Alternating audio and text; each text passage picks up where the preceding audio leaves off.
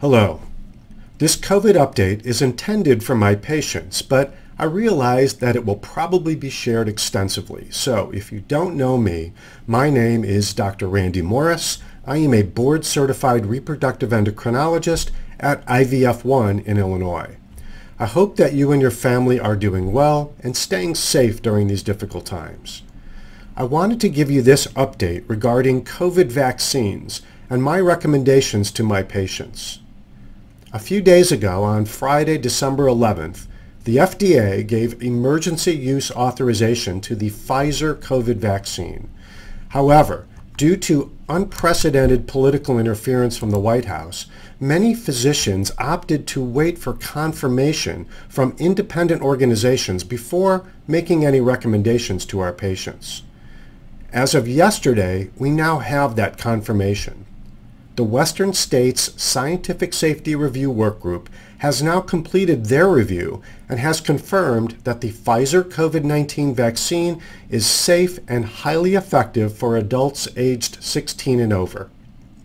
I now feel confident in recommending vaccination to my non-pregnant patients.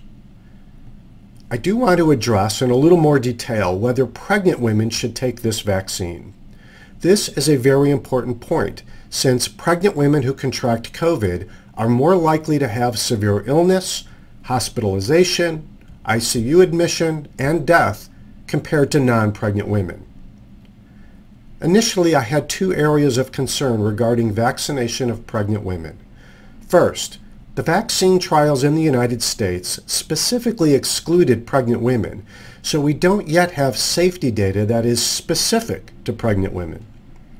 Second, the FDA requires developmental and reproductive toxicity studies in animals to assess a vaccine's possible effect on a fetus. Normally, this would have been completed before large-scale human trials began. However, due to the urgency of getting these studies started, we do not yet have this data. We hope to have this data from Pfizer before the end of December 2020. The Pfizer vaccine and the next vaccine most likely to be approved from Moderna do not contain any live virus. Live virus vaccines are the ones we usually worry about as causing potential issues with a developing fetus.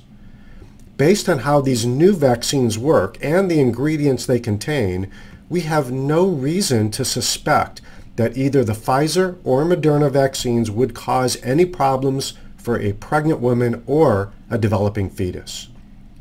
In fact, our two most authoritative academic physician organizations for women, the American College of Obstetrics and Gynecology and the Society for Maternal Fetal Medicine, have both released statements to say that this vaccine should not be withheld from pregnant women who otherwise meet the current criteria for vaccination, such as high-risk healthcare workers. My recommendation to patients is based on weighing the risks versus the benefits. I recommend that for any men and non-pregnant women, get the vaccine as soon as you are able. If you are currently pregnant and in a high-risk group, such as nursing home staff, urgent care, or hospital worker, I feel that the benefits of COVID vaccination outweigh the theoretical risks. You should also be vaccinated as soon as possible.